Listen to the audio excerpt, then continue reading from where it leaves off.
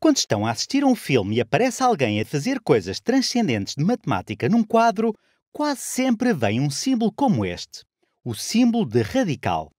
Isto usa-se para representar a raiz quadrada e também veremos outros tipos de raízes, mas a nossa questão é: bom, o que é que isto realmente significa? E agora que sabemos algumas coisas sobre os poentes, vamos ver que o símbolo de raiz quadrada, ou símbolo de raiz, ou radical, não é assim tão difícil de compreender. Então vamos começar com um exemplo. Quanto é 3 elevado a 2? Quanto é 3 ao quadrado? Bom, isto é o mesmo que 3 vezes 3, que é igual a 9. Mas, e se fizéssemos o raciocínio ao contrário? E se começássemos com o 9 e disséssemos o que é que multiplicado por si mesmo é igual a 9? Aqui já sabemos que a resposta é 3, mas como poderíamos usar um símbolo que nos dissesse isso? Como podem imaginar, esse símbolo será este radical. Então poderíamos escrever raiz quadrada de 9 e quando olhamos para isto dizemos ok, o que é que elevado ao quadrado é igual a 9? E diriam, bom, isto será igual a isto será igual a 3. E quero que olhem para estas duas equações, porque isto é a essência do símbolo de raiz quadrada. Se disserem a raiz quadrada de 9, estão a dizer o que é que multiplicado por si mesmo é igual a 9. E isso será 3. 3 ao quadrado é igual a 9. Posso fazer outro caso. Vamos fazer vários casos. Posso escrever 4, 4 ao quadrado igual a 16. E qual será a raiz quadrada de 16? Bem, será igual a 4. Deixem-me fazer outro. Na verdade, deixem-me começar pela raiz quadrada. Qual será a raiz quadrada de 25? Bom, isso será o número que multiplicado por si mesmo é igual a 25. Ou o número que, se o levasse ao quadrado, obteria 25. Bom, que número é esse? Bem, será 5. Porquê? porque sabemos que 5 ao quadrado é igual a 5 ao quadrado é igual a 25. Agora, alguns de vocês podem estar irritados, porque se eu pegasse, se eu pegasse em menos 3 e o elevasse ao quadrado, e o elevasse ao quadrado, também obteria 9 positivo. E o mesmo aconteceria se pegasse em menos 4 e elevasse ao quadrado. Também iria obter 16 positivo ou menos 5. Se o elevasse ao quadrado, também iria obter 25 positivo. Então, por que é que isto aqui, por que é que esta raiz quadrada não pode ser 3 positivo ou 3 negativo?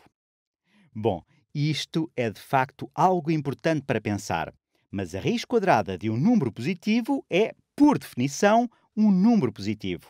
Quando vem este símbolo de radical, normalmente referimos-nos a isto como a raiz quadrada. Raiz quadrada. Isto é positivo. A raiz quadrada é positiva. Se alguém pretender o número negativo que ao quadrado dá 9, podem dizer algo do género, podem dizer algo como menos a raiz quadrada. Deixem puxar um pouco mais para cima. Podem dizer algo como menos a raiz quadrada de 9. Bom, isso será igual a menos 3. E o que é interessante nisto é que se levarmos ao quadrado ambos os lados disto, desta igualdade, se levarmos ao quadrado ambos os lados desta igualdade, o que obtemos? Bom, algo negativo. Algo negativo elevado ao quadrado torna-se positivo. Então, a raiz quadrada de 9 ao quadrado será apenas 9. E no lado direito, menos 3 ao quadrado menos 3 vezes menos 3 é 9 positivo. Então funciona. 9 é igual a 9 é igual a 9. Isto é bastante interessante. Deixem-me escrever isto de uma forma mais algébrica. Se quiséssemos escrever, se quiséssemos escrever a raiz quadrada de 9 é igual a x, só existe um possível x que satisfaça isto, porque está convencionado a maioria dos matemáticos concordou em ver este símbolo de radical como um número positivo que, ao quadrado, dá o que está lá dentro. Então, apenas podemos ter um x. Apenas um x consegue satisfazer isto. E esse x é igual a 3. Agora, Se quisesse escrever x ao quadrado é igual a 9, isto agora é um pouco diferente. x igual a 3 satisfaz isto com toda a certeza. Isto poderia ser x igual a 3. Mas existe outro x que satisfaz isto. x também poderia ser igual a menos 3, porque menos 3 ao quadrado também é igual a 9. Então, estas duas coisas, estas duas afirmações, são praticamente equivalentes.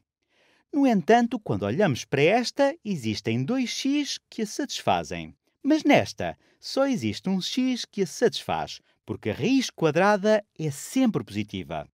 Se alguém quisesse escrever alguma coisa equivalente, onde teríamos dois x que poderiam satisfazer a equação, poderiam fazer algo como isto. Mais ou menos a raiz quadrada de 9 é igual a x. E agora o x poderia ser mais 3 ou menos 3.